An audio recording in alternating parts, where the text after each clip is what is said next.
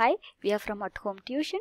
In this video, we are going to see few problems based on the applications of various properties of rational numbers. So first we are going to see the reciprocal of a given rational number. Then we are going to identify what property the given question is based on. And we are also going to find the multiplicative inverse of a given number. So the first question is multiply 6 by 13 by the reciprocal of minus 7 by 16.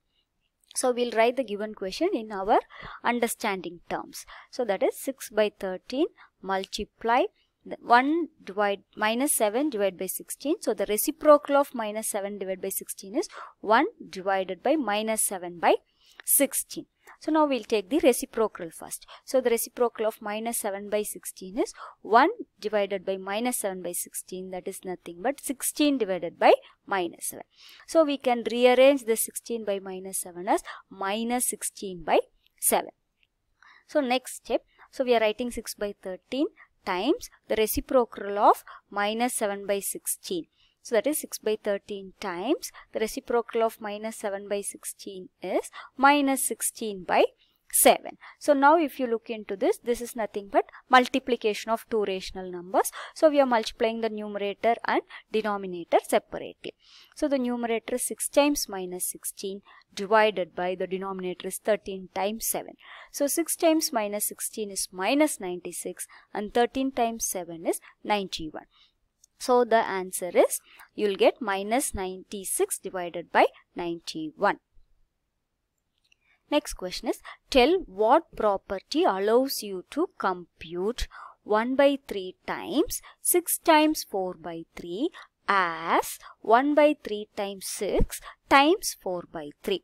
So solution. So now we are rearranging the given question that is 1 by 3 times 6 times 4 by 3 is equal to 1 by 3 times 6 times 4 by 3. So now if you look into the question we can see the form that the question is given the form of A times B times C equals B times A times C. So we can clearly say that this is associative property of multiplication of rational numbers. Next question is, is 8 by 9 the multiplication inverse of minus 1 times 1 by 8? Why or why not? So now we'll first write the question in the form of our understanding terms. So yes, 8 by 9 times minus 1 times 1 by 8 is equal to 1 or not. We'll check whether this is equal to 1 or not. So we know that the multiplication inverse of a rational number say a by b is b by a. That is if you multiply the number and its multiplicative inverse you should get the result as 1.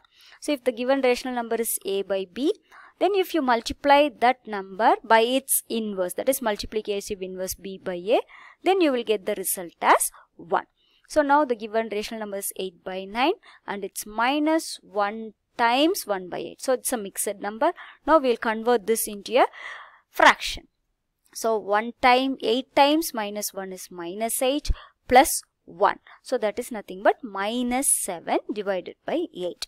So now if you look into this, this will in the form of a multiplication of two rational numbers.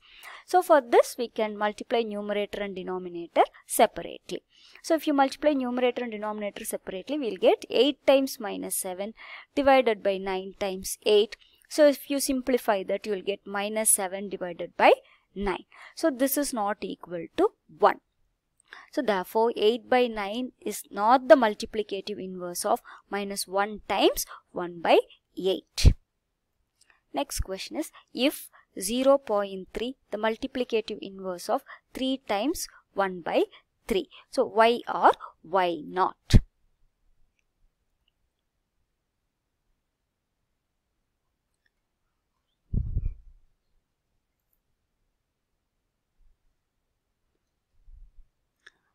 Solution. So is 0.3 times 3 1 by 3 is equal to 1 or not. This is what we were going to find. It's equal to 1 or not. So now we know that the multiplicative inverse of a rational number is a by if it is a by b is a rational number then its multiplicative inverse is b by a. So if you multiply the number and its multiplicative inverse you should get 1. Okay, so now we are going to do this. So now this is 0.3 times 3 times 1 by 3. So 3 times 1 by 3 is a mixed number. We are writing it as a fraction. So 3 times 3 is 9 plus 1 is 10. So 10 by 3. So 0.3 times 10 by 3. Now 0.3 can be written in the fraction form as 3 by 10. So 3 by 10 times 10 by 3. So 3 times 10 divided by 10 times 3. Since it's a multiplication, we are multiplying numerator and denominator separately. So we'll get the result as 1. So we can clearly say that 0.3 is the multiplicative inverse of 3 1 by 3. Next question is write the rational number that does not have a reciprocal. So you want to identify a number that should be a rational number which does not have any reciprocal. So we can say that all the rational numbers can be expressed in the form of a by b. So if the reciprocal of a by b is b by a. So you have to find a rational number such that you can write it in the a by b form but you cannot write it in b by a form. So we can say that 0 is a rational number, right? So 0 can be expressed as 0 by 1. But the reciprocal of 0 by 1 is 1 by 0 which is undefined. So we can say that 0 is a rational number that does not have any reciprocal. Next question is the rational numbers that are equal to their reciprocals. You have to find the rational numbers which are equal to their reciprocal. Okay, so all the rational numbers can be expressed as a by b form. So if it is reciprocals are expressed as b by form, b by a form. So you have to find a number such that a by b form is equal to b by a form. So 1 is a rational number that is expressed in the re reciprocal as 1 by 1. So which is also equal to 1. So again you can write negative 1 in the same way. So negative 1 can be expressed as 1 by negative 1 which is also equal to negative 1. So 1 and negative 1 are the numbers which is equal to their reciprocals also.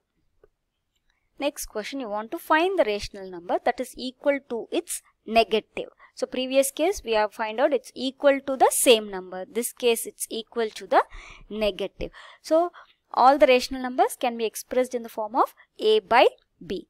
So you can say that only rational number 0 is a rational number that can be expressed as 0 by 1. So negative of 0 is nothing but 0. So we can clearly say that 0 is a rational number that is equal to its negative. So we have seen three cases. 0 is a rational number which does not have the reciprocal. Again 0 is the rational number which is same as its negative and we have one more, seen one more question that is 1 and negative 1 are the rational numbers that can be have same reciprocals. Thank you for watching the video.